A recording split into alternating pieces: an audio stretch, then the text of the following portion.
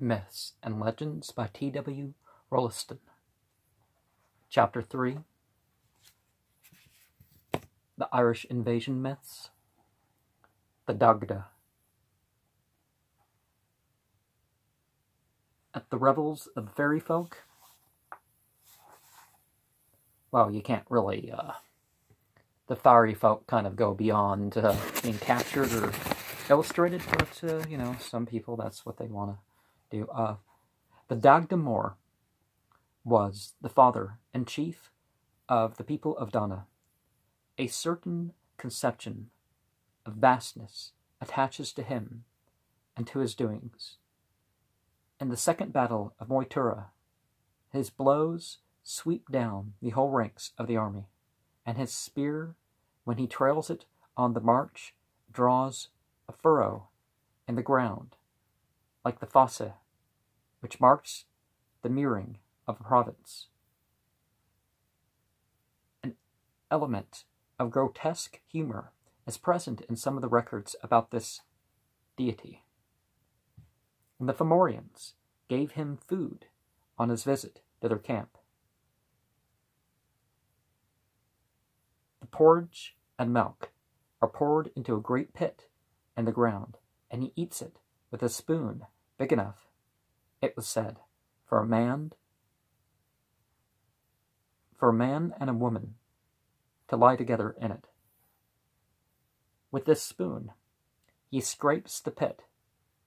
When the porridge is done, and shovels earth and gravel unconcernedly down his throat.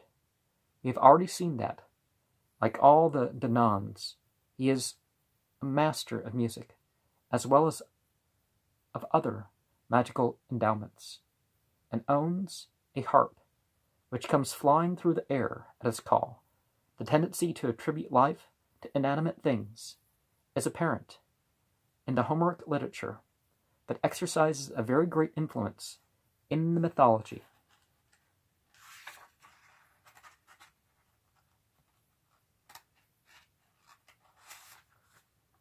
of this country.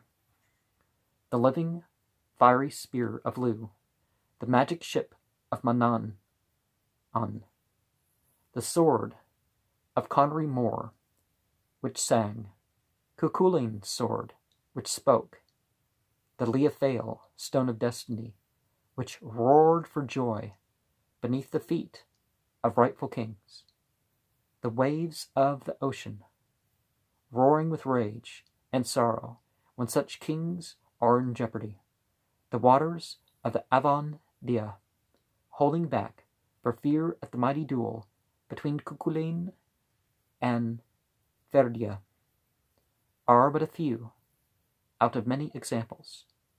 A legend of latter times tells how once, at the death of a great scholar, all the books in Ireland fell from their shelves upon the floor.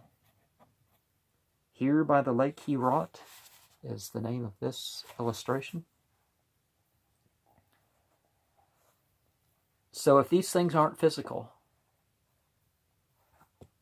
what did they mean? Are, in what way are they true?